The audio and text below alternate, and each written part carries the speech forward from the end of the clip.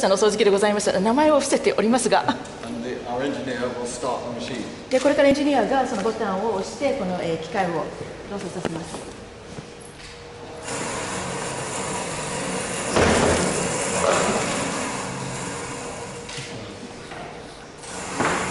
So this is the sort of thing I suspect you've all experienced at home. まあ、こういうような動きって皆さんご経験されてるんじゃないでしょうかごごご家庭の中で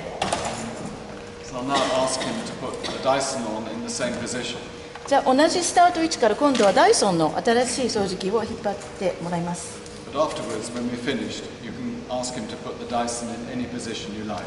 でとりあえず今回はここのスタート位置を選んだのでございますが、後であの皆さん、告知屋に来られまして、どのスタート位置でもあの指定していただきますので。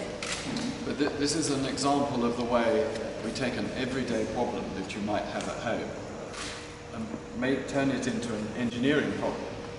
so that you can analyze methodically what the problem is and then develop a solution.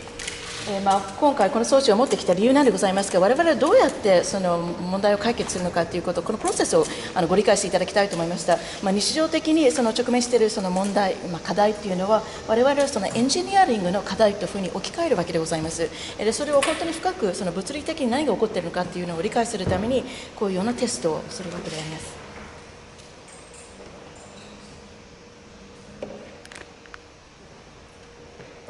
We go. So see what the Dyson does.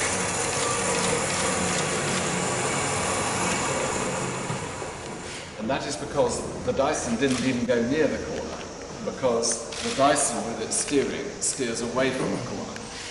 えー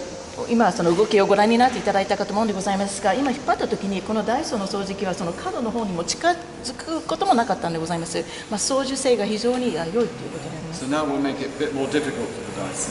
じゃあもうちょっと難しい課題をこのダイソンの組織に与えたいと思います。